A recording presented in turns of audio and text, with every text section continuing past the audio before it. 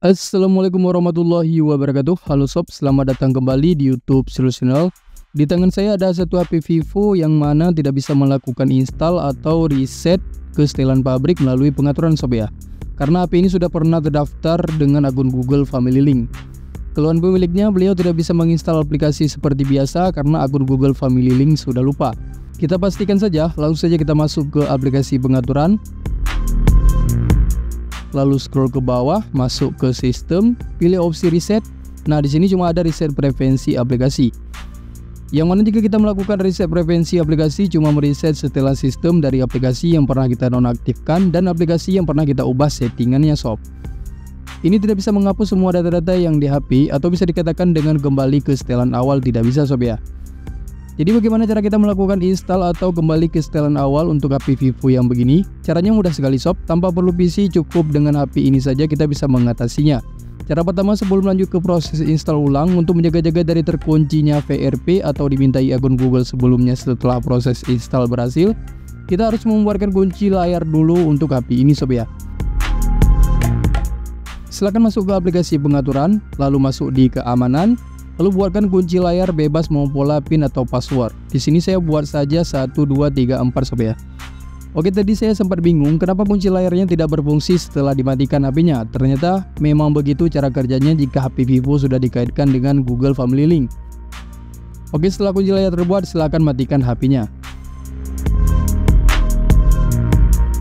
Oke selanjutnya tekan dan tahan tombol power dan volume atas secara bersamaan sampai berhasil masuk ke halaman mode Vivo Facebook.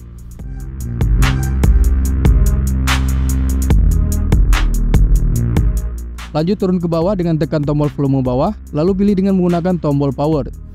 Sekarang HP-nya akan restart dan akan masuk ke halaman Vivo Recovery.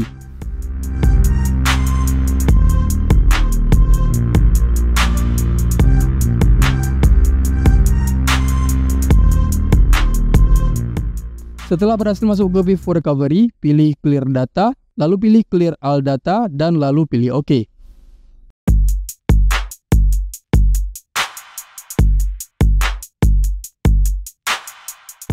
Setelah prosesnya berhasil, klik pada return, pilih panah kembali,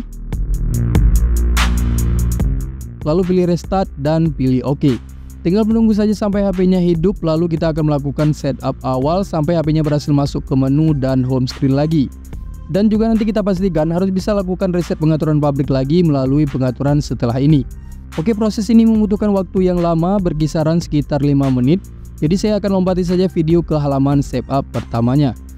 Oke saya sudah berada di halaman sepa pertama. Bisa kita lanjut dengan klik mulai Klik berikutnya Lalu aktifkan centang saya setuju Lalu klik lagi berikutnya. Selanjutnya kita butuh koneksi internet Bisa menggunakan wifi ataupun data seluler. Setelah terkoneksi ke jaringan internet Bisa kita lanjut lagi dan tunggu saja sampai proses penyiapan ponsel selesai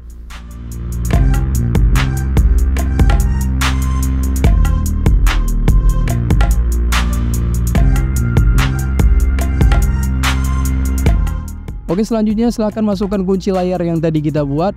Uh, Tadi saya buatnya 1, 2, 3, 4 Oke jika sudah lalu klik lanjut.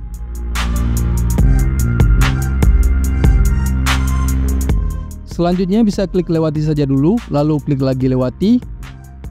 Klik lainnya. Klik lompati Dan lalu klik OK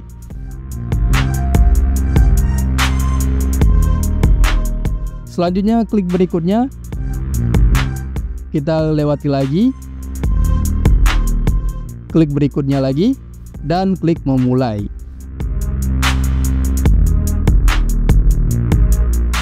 Oke sob selanjutnya saya pastikan lagi apakah saya sudah bisa memasukkan akun Google yang lain. Oke, di sini sudah tersedia akun Google yang sudah saya masukkan tanpa perlu verifikasi lagi sob ya. Dan saya juga sudah pastikan kita sudah bisa mendownload aplikasi seperti biasa di aplikasi Google Play Store dan juga sudah bisa melakukan riset ke setelan pabrik melalui pengaturan. Oke sobat, saya rasa sudah aman semua. Sekian dari saya untuk tutorial kali ini. Semoga bermanfaat. Sampai jumpa lagi di video selanjutnya. Wassalamualaikum warahmatullahi wabarakatuh.